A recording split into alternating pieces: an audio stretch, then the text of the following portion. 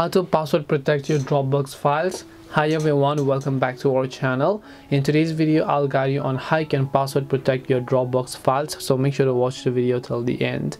In order to password protect your files on dropbox it's very simple. Just go to dropbox.com and just go ahead and navigate to the file which you want to password protect. So let's say this is the one right? Select this click the three dots option and then go to manage permissions first of all. When you go to manage permissions here you can see links. And here you'll be able to see this gear icon which is the settings option. Once you're here you can see viewer info and you can see link for viewing. Just go to link for viewing.